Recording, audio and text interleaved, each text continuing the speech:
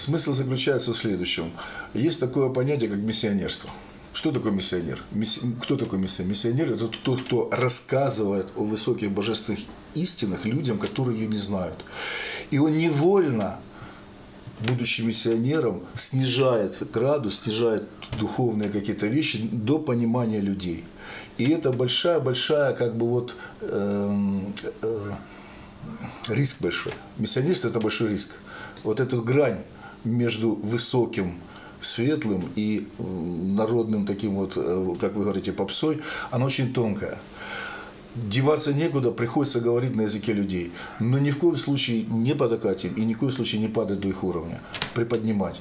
Чуть выше уровня человека – в данном контексте, чуть выше уровня в данном контексте и так дальше, и так дальше. Это стратегия общая. Но смысл один. Если ты пришел говорить а, к человеку, который вообще ничего не знает о Христе, говори о том, что его интересует. О жизни, о смерти. А потом дальше говори о существовании Всевышнего. То есть начиная с более широких вещей, с тем, чтобы потом привести к... А, это как ступеньки истины. А, поэтому и, наверное, и видео тоже – это то, о чем я говорил. Э, то, о чем я говорил. Понятные людям смыслы, закипает чайник, да, э, там человек садится в автобус или в метро.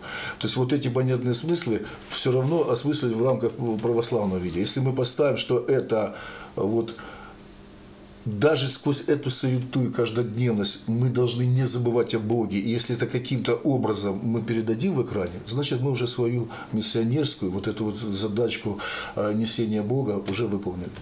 Вот. Поэтому э, бояться не надо экспериментов, бояться не надо каких-то новых форм, даже более того, что э, это, это должно приветствоваться, потому что Бог разнообразен. Ну, в крайнем случае, вот, вот так вот мыслится мне на сердце.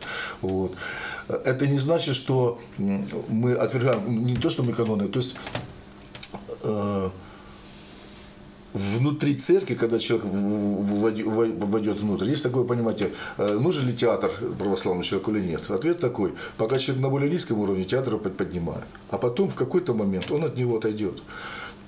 То же самое со всем будущим. Не в смысле отойдет, как э, отвергнет навсегда, как институт, а в смысле, что как, на каком-то этапе у него будут более высокие какие-то моменты. Но это более высокие моменты монашеское делание, трезвение, внутрь. Это не для всех. И поэтому сразу человека с первого класса давай-ка в университет его и давать ему какие-то нормы, которые э, понятны, естественно, в монастырской жизни, это в, в оцерковленной жизни людей. Э, эти нормы нельзя переносить на первоклассников, да, на ясельников, на дошкольников и прочее. Вот. То есть, прежде всего, надо понимать, с кем ты имеешь дело, и тогда уже из этого исходить э, вот тот э, уровень, на котором говорить с людьми. Это есть суть, наверное, рассказал не только о православии, да, так любая миссия любой э, конфессии идет, и в этом суть воспитания, наверное, да, и, образования. Вот. И в этом смысле ничего нового, ничего какого-то такого, я думаю, что не открыл. Но э, смысл в чем? Все можно. Вот. Единственное, что э, есть такая максима. Верь в Бога и делай, что хочешь.